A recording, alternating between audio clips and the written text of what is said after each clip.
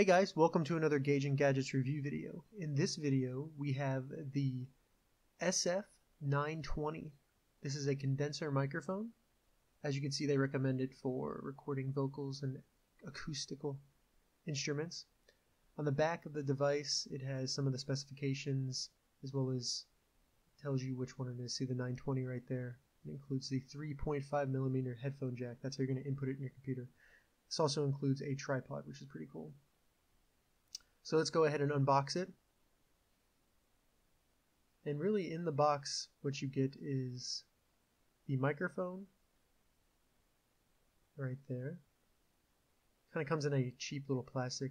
The tripod that connects to the mic, and the mic is actually adjustable in that. So this tripod's perfect for sitting on your desk right in front of your seat.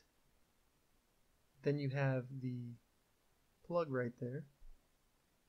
As you can see, not too tall, so perfect for setting on your desk. There's the plug, 3.5 millimeter headphone jack. And then the other side is just a standard three plug, three prong microphone plug. So we get to the microphone, and as you can see, it has a very nice metal grill that we'll see in this recording if it protects from my P's. Peter, Peter, Peter. Quick test right there. And there's the bottom of it. The plastic seems pretty sturdy. Um, it's not the most expensive plastic I've ever felt.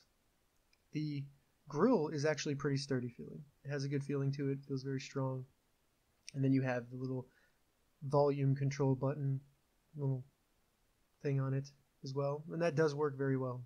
You have to turn it up all the way though, I found to actually pick up your voice pretty well. But yeah, so now I will put it in the tripod and you kind of see what it looks like in there. But this is a perfect desk microphone just to have if you're doing some voiceovers like I'm doing now and this is recorded with that microphone. And yeah, works great.